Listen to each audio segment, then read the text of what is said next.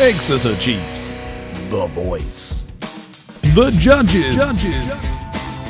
I've been singing since I can remember. It's a really important part of my life. I want to go really far in this competition. Name that tune.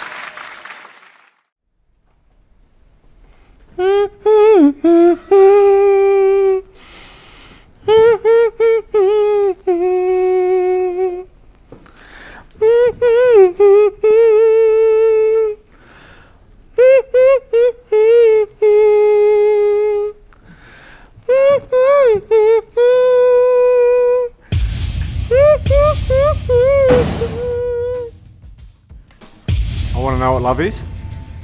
Yes, it is, Dave. Yeah, I struggled a little bit with it. Um, it, it sounded like you had sort of a, a fur bore in your throat. Do you, I think it was coming out my nose a bit. I got a cold, so a little bit nasal. bit You- nasal, yeah. do you spend a lot of time around cats, or do you own cats or something? Not at all, Dave. I got a dog. I Doesn't like cats. Yeah, I tell you what, you remind me a little bit of a, an older Meat Loaf.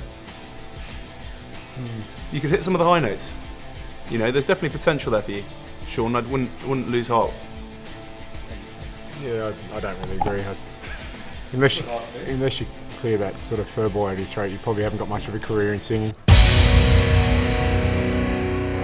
I'm at my happiest when I'm singing. When my mom nominated me for the show, it was like a dream come true.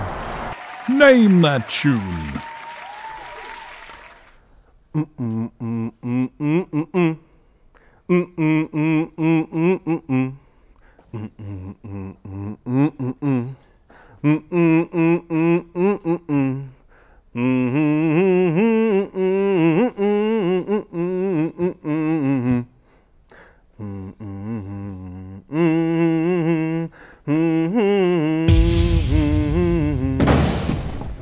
Italian national anthem.